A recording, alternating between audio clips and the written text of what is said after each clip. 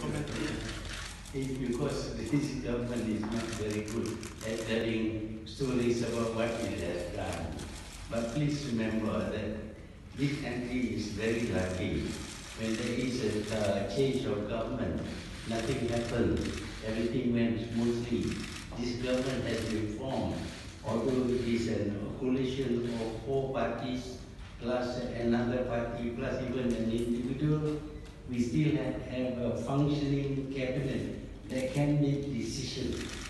Today, a lot of people uh, are investing in the country, but uh, we are not announcing the investment uh, as they come.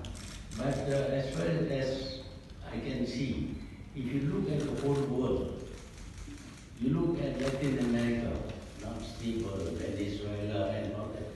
You look at America, you have people like uh, uh, President Trump who sends uh, uh, drones to kill people. If you look at Britain having problem with Brexit, you look at Europe, they are not united. If you look at Middle East, they are in trouble.